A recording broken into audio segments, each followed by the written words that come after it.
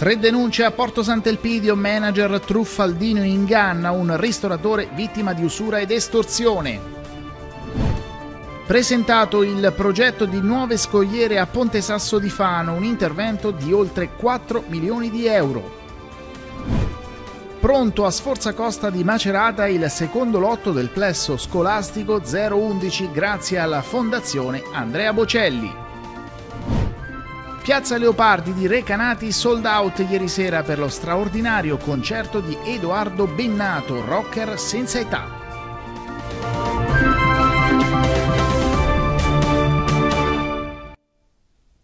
E buonasera e ben trovati amici telespettatori con la seconda edizione quotidiana di All News, l'informazione targata TVRS.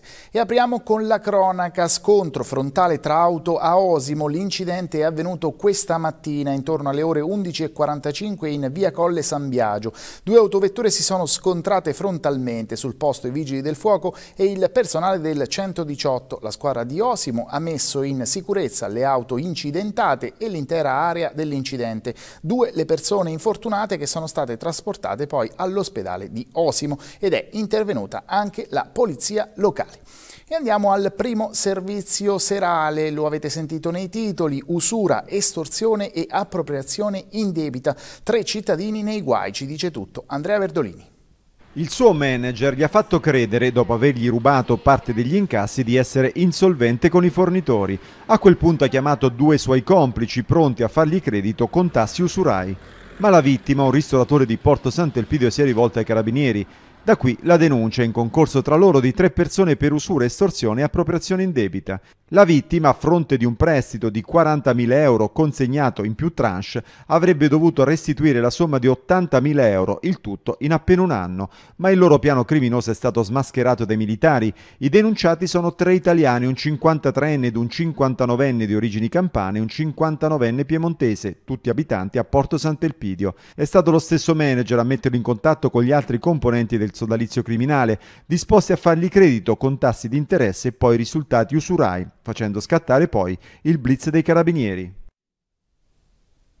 Esce dal garage di casa in discesa e invece di frenare accelera e finisce contro la porta di un garage del palazzo accanto.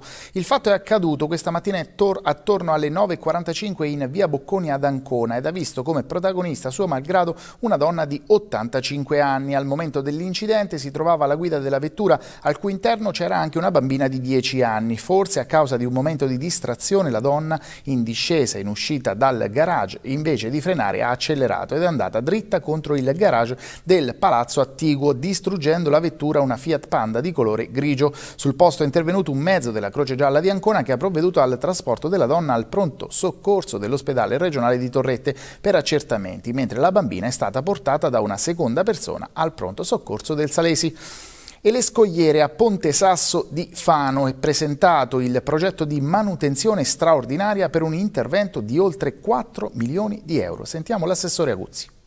Io ero stato stimolato dagli operatori proprio eh, balneari di quel territorio ad un incontro, mi pare a inizio di questo anno, febbraio, dove si lamentavano fortemente di un'ulteriore mareggiata, eccetera. Eh, partecipammo a quell'incontro insieme ai dirigenti della Regione Marche, prendemmo un po' atto della cosa che io però già conoscevo, ma non c'era allora alcun finanziamento, non c'era nulla di previsto su quel tratto di territorio, né alla Regione Marche era mai giunto un progetto, diciamo così, che richiedesse quel tipo di intervento. Ne prendemmo atto e prendemmo un impegno, ne prendemmo atto e prendemmo un impegno. Il caso vuole, per questo dico anche inaspettatamente, che poche settimane dopo dal governo, dal Ministero, che ringrazio, arriva un finanziamento alla Regione Marche molto cospicuo di 38 milioni di euro eh, mirato al dissesto idrogeologico io prendo atto di questo finanziamento, c'erano tante attività ovviamente da portare avanti in tutta la regione Marchi in questo settore, io mi permisi di chiedere al Ministero se una parte di quei fondi potessero anche essere rivolti alla difesa della costa. Il Ministero ci disse che doveva sì essere però una cifra molto bassa rispetto alla, alla complessiva diciamo, cifra erogata deliberammo in giunta regionale, proprio una delibera che inviammo al Ministero, che avremmo impegnato non più del 10% di quella cifra per la difesa della costa. Il Ministero la accettò e noi inserimmo proprio la progettualità, diciamo così, di eh, Ponte Sasso per inserire su 3 milioni e 8 quel tipo di intervento. Io personalmente in quel momento chiesi al Comune di Fano, ai tecnici del Comune di Fano, di redigere velocemente un progetto di massima che riguardasse uno stralcio di 4 milioni, perché non ne avevamo e non potevamo inviare niente al Ministero. Nel giro di poche settimane eh, questo stralcio arrivò ed era di 4 milioni e 2. Lo inviamo al Ministero e il Ministero ci disse che non andava bene perché noi avevamo indicato massimo il 10%, quindi 3 milioni e 8. Eh, 4 milioni e 2 ne mancava un pezzo. Richiamai il Comune di Fano direttamente e gli feci fare, gli chiesi di fare una lettera alla Regione Marche di impegno a co-partecipare per la cifra mancante che era 300 e qualcosa che mancavano. Questa lettera arrivò, la girammo al Ministero insieme alla nostra delibera e insieme al progetto di massima, il che è stato inserito nella piattaforma Rendis ed è insieme ad altri otto interventi approvati, i fondi arriveranno a inizio del prossimo anno. Per essere onesti mm, io deduco che per il 2025 stagione balneare non è possibile attivare questo tipo di intervento, anche perché è un intervento molto complesso, molto difficile. Io voglio pensare che i lavori potrebbero realisticamente partire nella fase autunnale del 2025 ed essere conclusi per appunto l'estate invece dell'anno successivo, quella del 2026. Uno scooter con in sella una coppia è stato investito ieri sera poco dopo le 23 ad Ancona in via del Castellano da un cinghiale. Un uomo e una donna sono rimasti feriti e sono stati portati in codice rosso all'ospedale di Torrette. L'ungulato è sbucato all'improvviso travolgendo il mezzo a due ruote, un impatto violento che ha fatto perdere il controllo al conducente e ha fatto finire a terra i due occupanti. Sul posto è arrivata l'automedica del 118 partita da Loreto, intervenuta anche un'ambulanza della Croce Rossa che ha trasportato portato i feriti in ospedale per le cure del caso. Ed è pronto il secondo lotto del plesso scolastico di Sforza Costa di Macerata. Sentiamo Andrea Verdolini. Vedere realizzate opere pubbliche in tempi ragionevolmente brevi, tra l'altro riqualificando profondamente uno spazio dedicato alla scuola, è un fatto sempre meno usuale. La sinergia invece tra la struttura commissariale post-sisma, il comune di Macerata e soprattutto l'Andrea Bocelli Foundation ha fatto in modo che il pomeriggio del 23 settembre sarà inaugurato il lotto B del Lab Educativo 011 di Sforza Costa. Un intervento che ha visto la ristrutturazione della scuola primaria Natali e del giardino circostante, il tutto in 150 giorni, completando il secondo step di un ampio progetto iniziato lo scorso anno. Nelle immagini infatti vediamo il polo d'infanzia, il cui taglio del nastro venne effettuato lo scorso 22 novembre un'opera di riqualificazione e rigenerazione urbana che darà vita alla rinnovata scuola primaria e ad una serie di laboratori interni ed esterni accessibili a bambini e famiglie, oltre l'orario scolastico, compresi fine settimana e periodo estivo, dando davvero nuova linfa ad una frazione densamente popolata una struttura che vuole integrarsi nel contesto della località poiché esprime, si legge in una nota, oltre ai più evoluti canoni di funzionalità, sostenibilità, innovazione, anche il valore della bellezza. La fondazione ha già dimostrato la sua concretezza ed efficienza a Sarnano, Muccia e Camerino, sempre con il fil rouge della qualità e della solidarietà mercerara di questi tempi. E nella mattinata di ieri i reparti speciali dei carabinieri NAS di Ancona e NIL di Macerata hanno effettuato un controllo congiunto presso una pasticceria di Corridonia, accertando violazioni di carattere igienico-sanitario ed in materia di impiego e sicurezza dei lavoratori. Nel corso dell'attività i militari del nucleo ispettorato del lavoro accertavano la presenza di due lavoratori italiani occupati in nero, ovvero assunti in assenza della prescritta comunicazione al centro per l'impiego. Per tale motivo il titolare veniva sanzionato amministrativamente con una multa di 32.000 euro. Il NIL inoltre verificava la sussistenza di numerose violazioni alla normativa sulla sicurezza del lavoro e per questo motivo venivano emesse sanzioni per altri 3.000 euro. Il Made Marche dell'enogastronomia è molto richiesto in Europa. Ne abbiamo parlato con Pier Giorgio Coccia, CEO del gruppo Ai Sei Angoli di Bruxelles. Sentiamo. Il Made in Marche in ambito enogastronomico è da tempo un'eccellenza e ha un grande appeal in Europa.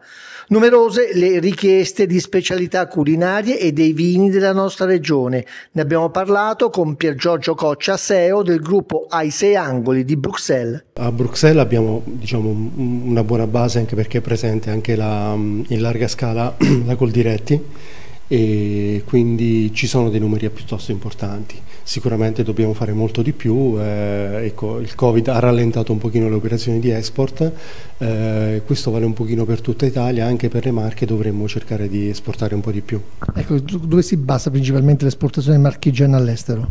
Allora, sicuramente la parte enologica, quindi tutti i nostri vini stanno facendo dei buoni salti in avanti negli ultimi anni, sia come considerazione, quindi come quanti, com, come quantità che come considerazione, quindi come prezzo sul mercato. Il prezzo medio sul mercato si sta, si sta alzando e quindi questo dà più eh, valore al prodotto e poi sicuramente mh, tutte le nostre carni, tutti i nostri formaggi, tutti i nostri prodotti tipici eh, sono ancora molto molto importanti.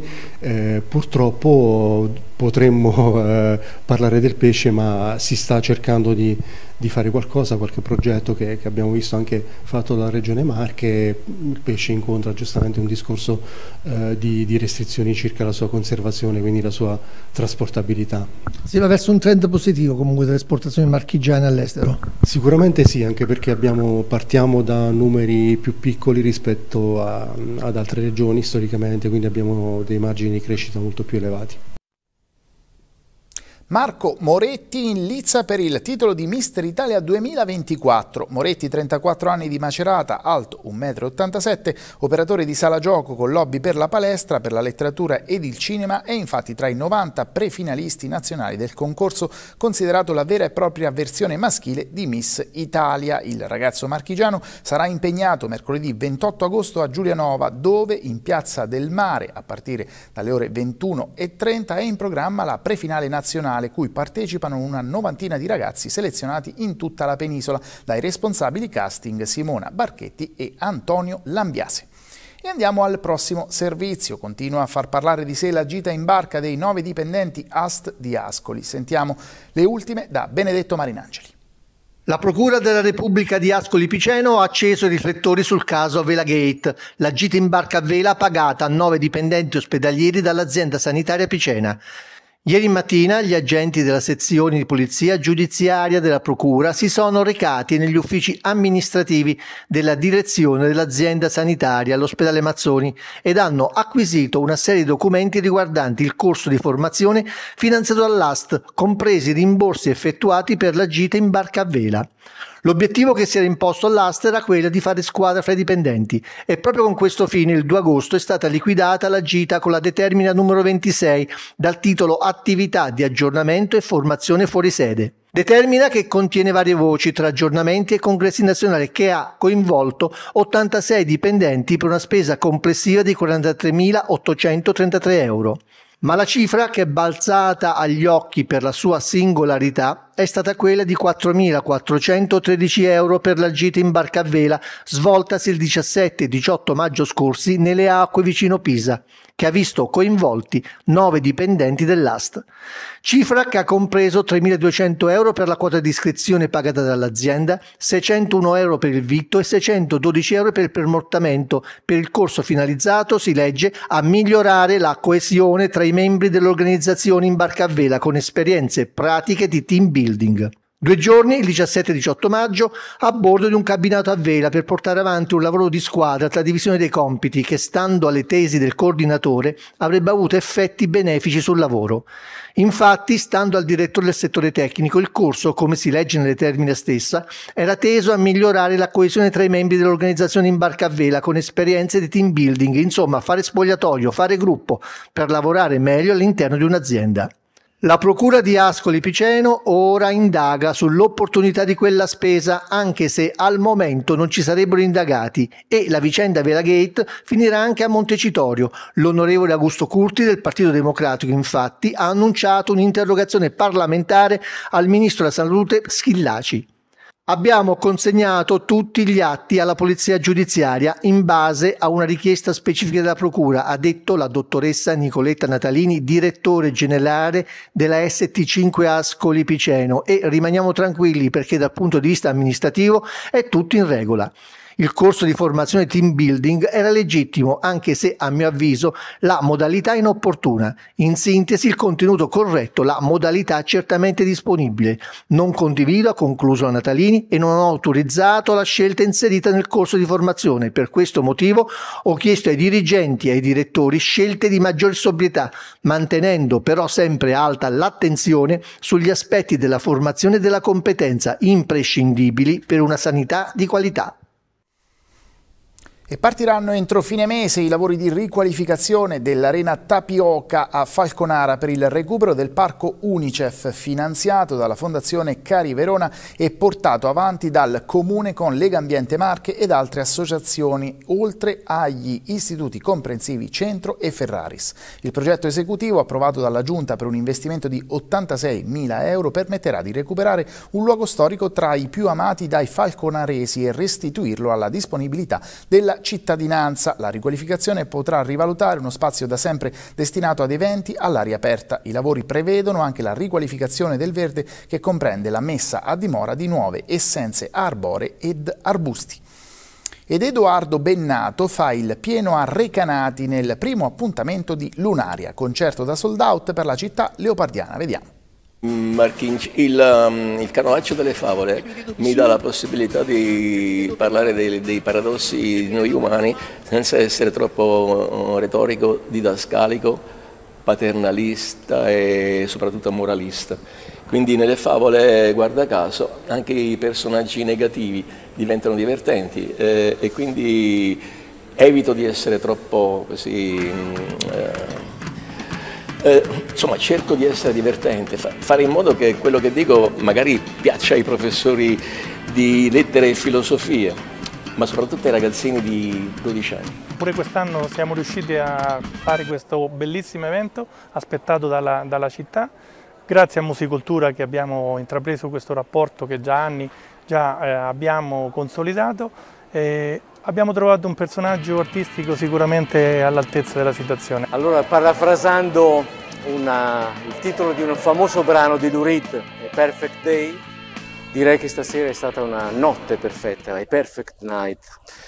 Una, una piazza Leopardi stracolma, un concerto eh, stratosferico di quelli che ti riconciliano appunto con il live in un periodo in cui i live spesso purtroppo sono anche delle passerelle di personaggi la cui notorietà è acquisita magari eh, sui social o in televisione, ma poi una volta sul palco mancano del bagaglio artistico, del, dello slancio emotivo, della potenza di immaginazione di artisti come Edoardo, che ha appena finito il concerto, questo è, è il suo camerino e siamo anche riusciti in questa serata con la piazza Stracolma, credo l'unico caso italiano in cui il sindaco della città, il sindaco Pepe è rimasto in piedi perché ha ceduto il posto ad un fan di Edoardo Bennato. Quindi eh, buona la prima, la prossima data di Lunaria è il 6 di settembre, sempre a Recanati, con Antonella Ruggero possibili anche dalle vostre convinzioni. Ed ora siamo arrivati in fondo, dunque la sigla dello sport.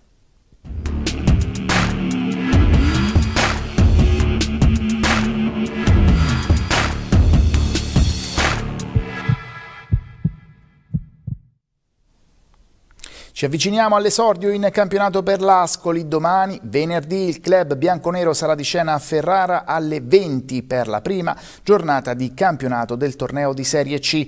Mister Carrera conta di iniziare nel migliore dei modi la stagione. Mentre la VL si allena in vista dell'inizio della nuova annata. Sentiamo coach Sacripanti al microfono di Camilla Cataldo. Coach Sacripanti, tanta atletica con i preparatori e anche un po' di pallacanestro. State rispettando i programmi? Sì, stiamo rispettando i programmi, adesso c'è un grande carico fatto da Roberto Venerandi, il preparatore, giustamente, eh, e abbiamo fatto della pallacanestro diciamo, senza contatto per evitare eh, possibili infortuni. Adesso da, da oggi cominceremo a mettere un pochino più di pallacanestro, anche se le sedute mattiniere sono molto intense e, e quindi non possiamo dilungarci più di tanto. La prima settimana un occhio di riguardo un po' più alla preparazione, poi eh, insomma, aumenteremo sempre di più la pallacanestro in campo. Siete al completo da subito, questo facilita il lavoro in campo e anche fuori? Sì, è stato positivo il fatto che siamo riusciti, è riuscito Khalil Amada ad arrivare insomma, in tempo dopo comunque eh, il campionato canadese. Eh, ci sono tante idee tecniche e tattiche di come far giocare la squadra, faremo un po' di prove, un po' di eh, così, vedere cosa è meglio, cosa eh, la squadra riesce ad assorbire e quindi questo facilita un po' il tutto. Come hai trovato la location di Carpegna? Ah, molto bella, si sta molto freschi, la palestra è un gioiello, tutta per noi, dove possiamo fare sia lavoro di pesistica che appunto pallacanestro, ci sono, eh, sembra fatta apposta questa discesa per... Eh, eh, insomma, per Venerandi dove si scatena terribilmente, ieri l'ha fatti morire, ha fatto le ripetute in salita e poi è molto bello, ecco, perché poi tutte le colline qui sono veramente un gioiello. Si avvicina alla prima amichevole il 28 con Fidenza. Ma sì, onestamente non ci pensiamo a questo perché dobbiamo mettere ancora della pallacanestro vera. La cosa ecco, che stiamo provando, che sto provando, che ce l'ho in testa da un po', è di portare spalle a canestro tanto gli esterni eh, avendo poi dei lunghi molto tiratori, un po' invertire questa, questa tendenza per far chiudere un po' l'aria, poi per farla aprire. E ieri l'altro ieri abbiamo fatto dei buoni lavori, ci sono state delle buone risposte, però adesso si comincerà a giocare un po' sul serio e vediamo, fai, far tutto contro zero viene come sul libro, poi dopo bisogna metterlo in pratica. E oggettivamente non credo che in Italia ci sia mai stato fino adesso tra la 1 e la 2 un campionato di 38 partite con, eh, con 8 turni infrasettimanali, quindi l'aspetto mentale di chi è più duro chi, mentalmente, chi è più duro proprio chi rimane lì con forza eh, nel fare tutto con grande dedizione, credo che sarà una, così, una cosa molto importante, una, un passo decisivo per, per poter vincere o perdere. L'Ancona, targata Agnello, ha presentato un ricorso al Tribunale federale nazionale contro l'ammissione della SSC Ancona al campionato di Serie D stagione 24-25 e chiesto la sospensione sia della Coppa Italia che del campionato di Serie D. Il ricorso verrà discusso il 29 agosto. La LND ha deciso di far disputare comunque la sfida di Coppa tra la Recanatese e l'Ancona in programma sabato sera alle 20.30.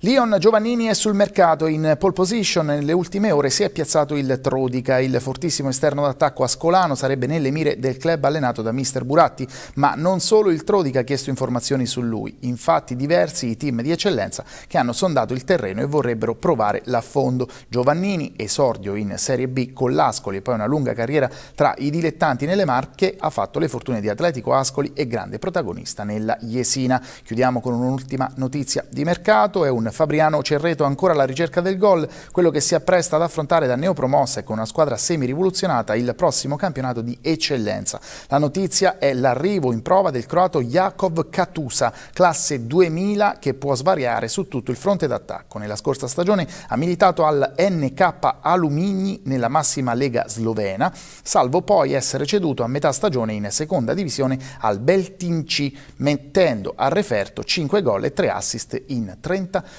partite. E vi ricordo di rimanere aggiornati con il mondo TVRS dando un'occhiata ai nostri siti utvrs.it dove ci sono notizie di cronaca, sport e attualità da tutta la nostra regione con un aggiornamento ovviamente costante 7 giorni su 7 e chiaramente anche il sito tvrs.it dove sono presenti tutti i nostri telegiornali e le varie trasmissioni che la nostra emittente costantemente produce. Ricordo che l'appuntamento invece per l'informazione torna domani a partire dalle 12.50. A me non resta che augurarvi una cordiale buona serata. Arrivederci.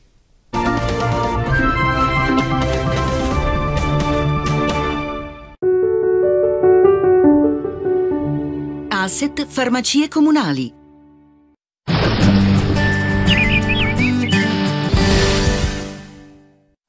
Ben ritrovati ad un nuovo aggiornamento previsionale da Vanessa Minotti di Trebi Meteo. Anticiclone africano in rinforzo per la giornata di venerdì sul nostro territorio. Diamo subito uno sguardo alla grafica della nuvolosità che sarà praticamente assente sull'Italia se non sui settori montuosi quando appunto nel pomeriggio avremo dei temporali di calore proprio da segnalare su Alpi, Prealpi e rilievi appenninici. Infatti la giornata di venerdì sarà prevalentemente soleggiata eccetto nella seconda seconda parte del giorno, come dicevo, specie nel pomeriggio quando avremo la possibilità di qualche rovescio su Alpi Prealpi e Appennino, temperature massime che tenderanno ad aumentare con valori tra i 30 e i 34 gradi al centro-nord, punte localmente nelle zone interne del sud fino ai 35-37 gradi. Per tutti i dettagli c'è il sito e l'app di Trevi Meteo.